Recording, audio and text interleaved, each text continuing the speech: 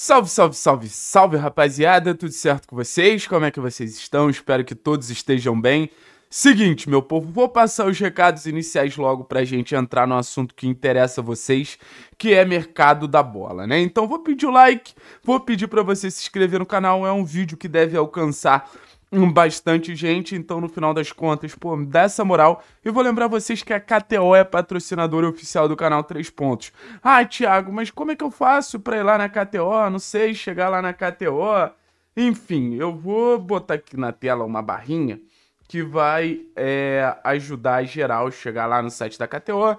Já tem o meu código que te dá 20% de bônus no seu primeiro depósito, então vai lá, me dá uma força, usa meu código, me ajuda demais.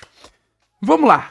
Não foi um dia fácil. Para quem vive Atlético, para quem respira Atlético, para quem apura Atlético, não foi um dia fácil. Um dia de muitas mudanças, um dia de muitas perspectivas que a gente não sabe agora o que vai acontecer, mas eu fui tentar, com as armas que eu tinha, com as possibilidades que eu tinha, trazer algumas respostas para vocês principalmente em relação ao que vai ser o mercado da bola do Atlético a partir de agora.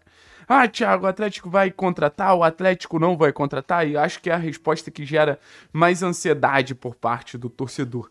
E é, o Atlético tem a intenção de contratar. O Atlético tem o interesse de contratar. Sabe? Se o Martin Varini é, apontar as necessidades do grupo. Ah, Thiago Martivarini já apontou? Ele apontou uma grande necessidade. O Atlético vai atrás de atender essa necessidade do Martin Varini, mesmo com todas as mudanças que estão acontecendo. Ah, Thiago, qual foi o, a posição que o Martin Varini acabou pedindo reforços? A posição que o Martin Varini acabou pedindo reforços foi é, um meia pelo lado direito um ponta ou um meia para fazer ali a função que o Christian está fazendo, que o João Cruz fez. Para o Varini é, é, é o jogador que falta nesse elenco. Ele encontra soluções em vários outros é, pontos do time, mas nessa posição ele realmente prefere a contratação de um jogador. Ah, Thiago, é o Duarte que ele quer? É o TT? É o, o, o Bruno Tabata? Cara, a, a contratação que, que, que, vai chegar ou que não vai chegar, o Varini deixou com o clube. Mas o Varini quer esse jogador por causa da circulação mais perto da área. Ele entende que ele precisa de um jogador canhoto para fazer a bola chegar com velocidade da direita para a esquerda. O grande desejo do Martin Varini é esse. Ah, Thiago, mas se o Petralha não liberar dinheiro, obviamente a gente não vai trazer ninguém. O que eu ouvi de pessoas de dentro do clube, não foi de uma pessoa e não foram de duas pessoas. Existia um receio muito grande em relação ao André Mazuco, até pelo fato do André Mazuco ser um profissional trazido ali na gestão do Alex Leitão. Então, existia um medo muito grande se o Mazuco conseguiria gastar e gastar de maneira prudente o dinheiro que o Atlético teria para o mercado. Então, não era que o Petralha não queria gastar, pelo que eu apurei. O Petralha não queria botar esse dinheiro na mão do André Mazuco. Muitas pessoas do clube já imaginavam que o André Mazuco teria sido demitido até antes do que ele acabou sendo, porque era um profissional que estava realmente muito ligado na gestão do Petralha e existia também um receio muito grande, não só por parte da diretoria, mas existia uma espera muito grande por algumas movimentações do Mazuco, isso contou muito para a demissão dele.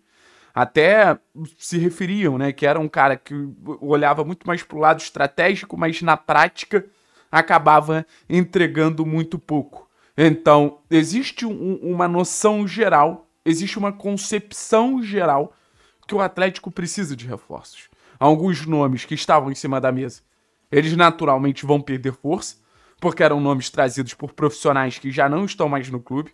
Alguns nomes vêm sendo trazidos por empresários próximos ao Atlético, jogadores de defesa, jogadores mais à frente, sabe? E também existe agora um, uma conversa em um tom diferente. Outros nomes aparecem, a preferência de pessoas que permaneceram no clube também. A gente vai ter a chegada de profissionais que, que vão trabalhar diretamente no futebol do Atlético. Então, essa, esses profissionais também vão trazer nomes para que, que, que, o Atlético avalie se é possível, se não é possível trazer. Mas a, a, a informação que eu tive foi que é muito mais provável com o sem o André Mazuco, com a saída do André Mazuco, que o Atlético se reforce. Vou garantir aqui, o Atlético vai se reforçar? Não tenho como eu trazer essa garantia. Até porque a gente já teve muitas versões ao longo dessa janela. De vai contratar, não vai contratar, vai contratar, não vai contratar. O próprio Petralha dentro do clube já trouxe uma série de versões. Então, assim, existe a expectativa que é, possa chegar pelo menos esse meia pela direita, existe a expectativa que agora algumas movimentações elas possam andar. O que o Atlético tem noção é que o Atlético vai precisar abrir o bolso. Algumas negociações já poderiam ter acontecido se o Atlético tivesse um pouquinho mais de, de assim, desse lado voluntarioso aberto ali no mercado, em questão de valores mesmo, não tem muito mistério. Ah, Thiago, é, você tem alguma perspectiva? Não tem. A gente vai acompanhando dia a dia por uma apuração que eu tive. Agradecer muito as pessoas que me ajudam a trazer essas informações aqui para vocês. Mas o Atlético ele caminha por um cenário que as coisas elas estão se ajustando no aspecto que não tem mais ninguém desejado na diretoria do Atlético. Ah, Thiago, mas vão sobrar só os puxa-sacos do Petralha? Eu não lidaria assim, mas querendo ou não, é um pouco nesse sentido, que o Atlético agora vai ter uma diretoria mais petralista. E como a diretoria mais petralista, o Petralha ele se sente menos ameaçado, menos naquele tom de defesa, sabe? Que o Petralha, ele sabia que tinham profissionais ali que estavam caminhando no lado contrário o, o dele. O Petralha, que, cara, é, é um cara que só quer o bem do Atlético. No final das contas, é um personagem que, que, que, gera muita crítica, gera movimentação, mas no fim ele só quer o bem do Atlético. A questão é que ele tem os métodos dele. No final é que ele tem a maneira dele de pensar, a maneira dele de agir, mas é, é um sentimento assim que alguma coisa ainda pode acontecer. O Atlético não está 100% morto no mercado. Valeu, pessoal. Tamo junto, é nóis. Forte abraço. Daqui a pouco tem live. Espero vocês.